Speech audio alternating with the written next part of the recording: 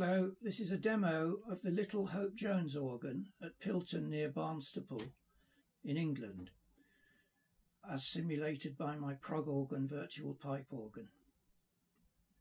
He built it in 1898 and it's one of his small instruments still remaining in Britain after he left for America in 1903.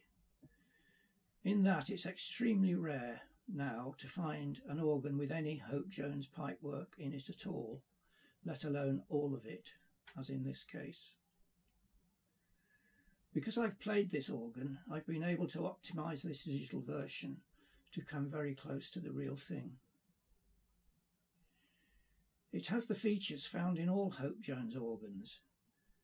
Strongly different tone colours, novel stops such as diaphones, lots of couplers, extended and borrowed ranks, nothing above four foot pitch, and so no mixtures or mutations.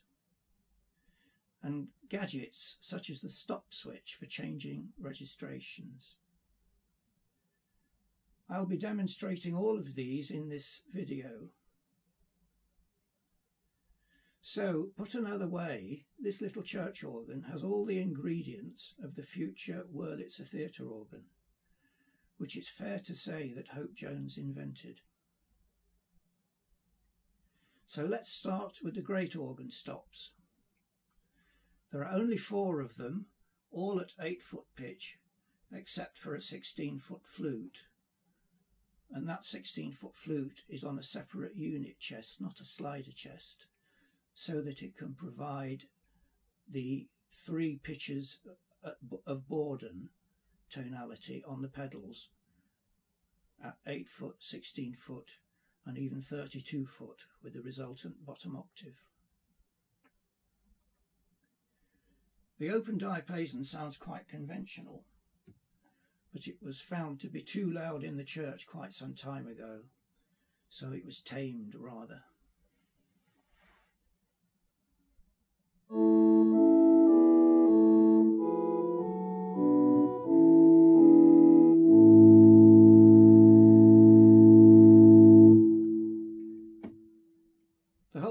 Flute is just a flute as its name implies, but it's quite a powerful one.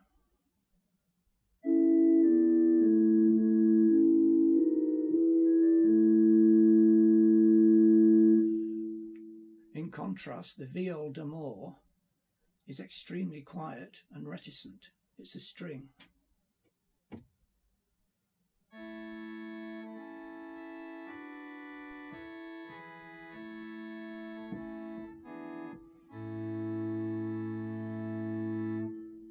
Finally, that Röhrgedacht, the 16 foot flute that I was telling you about, that's also used on the pedals. Here it is.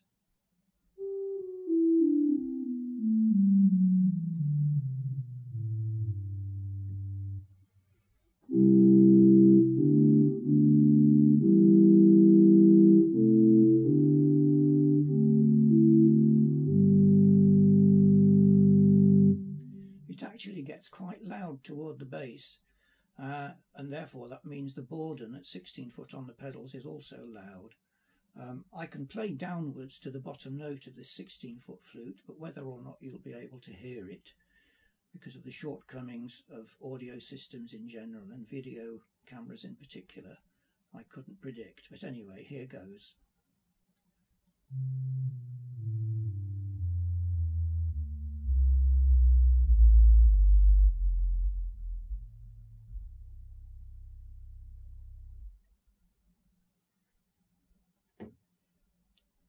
So that's the great organ. On the swell organ, the diapason phonon, a Hope Jones special name incidentally, has leathered lips so it sounds dull and muted.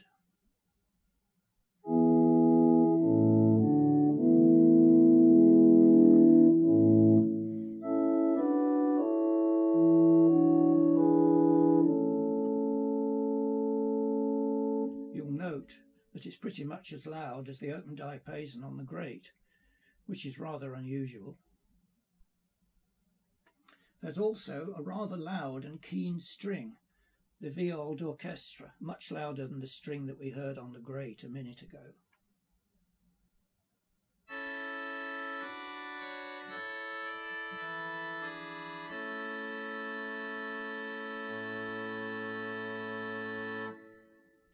The phonema, yet another Hope Jones special name, is a slightly stringy flute but much quieter.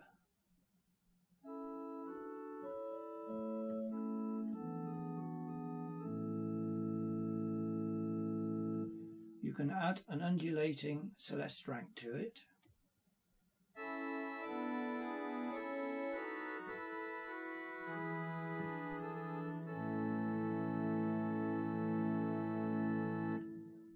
That sounds quite nice when we also add the stringy viol.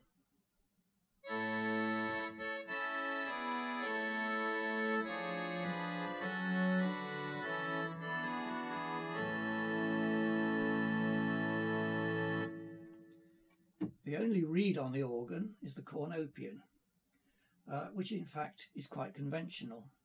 It's rather nice.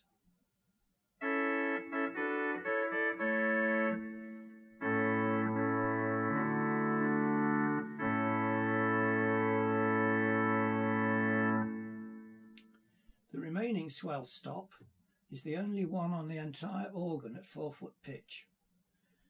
It's a quintadena, speaking with a prominent twelfth in its voice.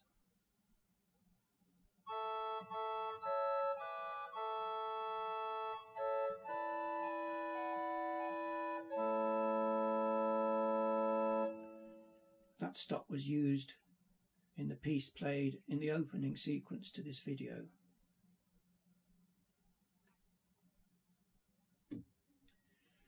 As I said earlier, on the pedals there's a 16 foot flute unit derived from the great, uh, which provides basically bourdons at three different pitches 16 foot, of course, an octave, octave above at 8 foot, and an octave below at 32 foot. Uh, the 32 foot has a resultant quinted bottom octave. But there's also a fourth, very different sort of stop on the pedals. It's a diaphone. Yet again, another Hope Jones idiosyncratic name. Um, and it's a stop of a type he invented also. It's neither a flute nor a reed, but something in between. It uses an oscillating air valve to produce a powerful, smooth, pervading tone, which on this organ has been voiced more towards a reed tonality.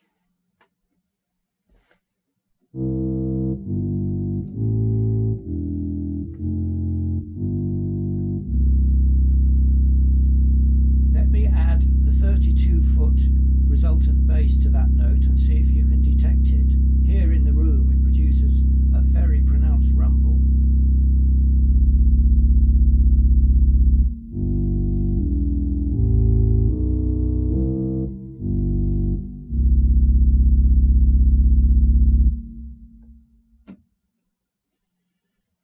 Let's turn to the couplers. For a small organ, there are actually quite a few of them. There's an unusual octave coupler on the great. This is actually a coupler. It's not an octave four foot principal, and it's not the swell four foot coupler. There's one of those as well. But here's the great octave. So if I put on the open diapason, by putting on the coupler as well, I get a sort of principal with it at four foot.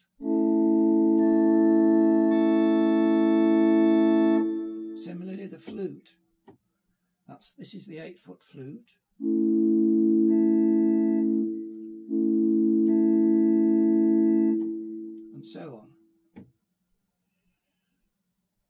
Well as that useful four foot coupler on the great, you can couple the swell through at 16, 8 and 4 foot pitches.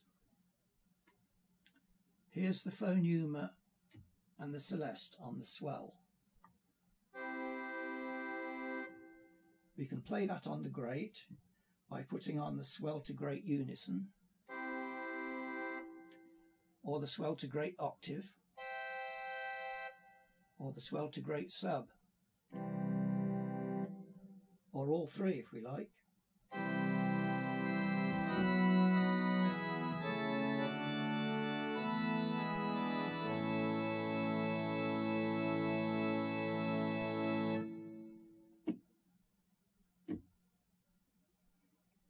Uh, the swell also has its octave and sub-octave couplers. Here's the viol d'orchestra on the swell with the sub-octave and a super octave and the celeste rank.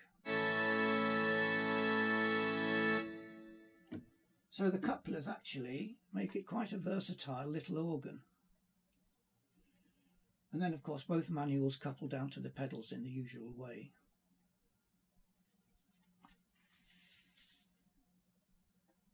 And finally a gadget. It's the stop switch, yet another Hope Jones innovation.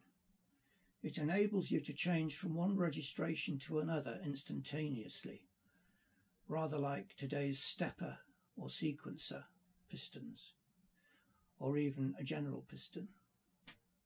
Let's set up a particular registration to start with. I'm going to choose the Great Open Diapason, the Swelter Great and the Cornopean, which sounds fairly bold.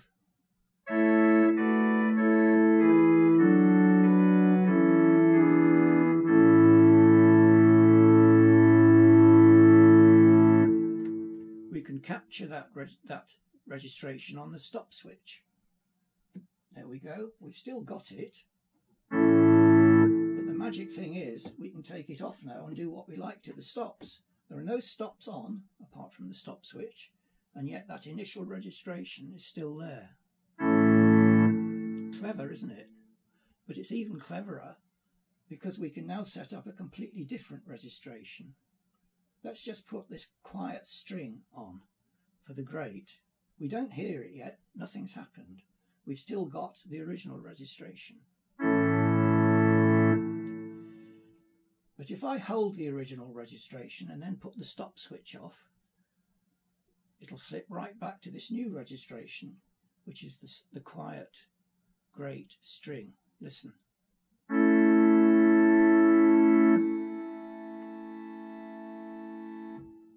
Clever or what?